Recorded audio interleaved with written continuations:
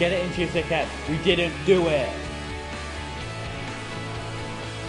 Can you stay in the graveyard all night all by yourself?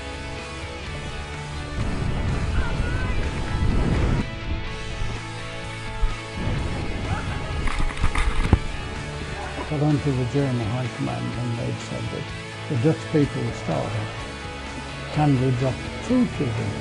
So they agreed to do this and they, they told them that they would give them an entry point and then they'd give them a route, a corridor into where the Dutch people were standing. Well, the final award of the evening is the Lifetime Achievement Award. And the nominations for the Lifetime Achievement Award are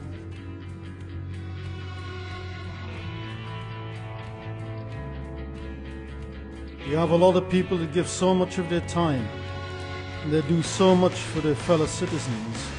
It says a lot about this area. The winner for this uh, particular award is Inspector Tom Shaw.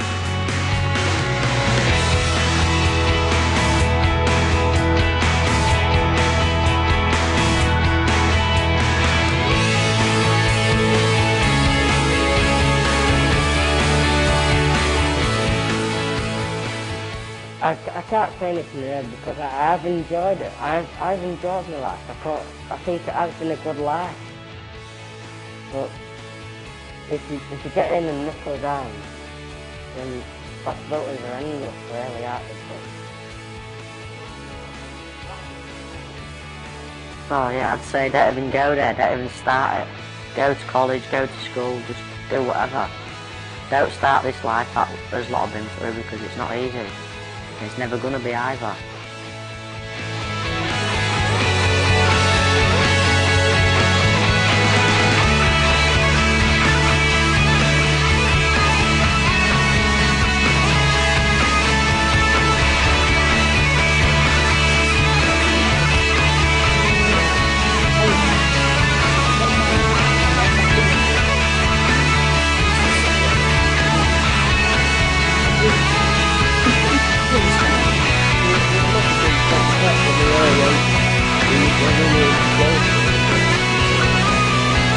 Thank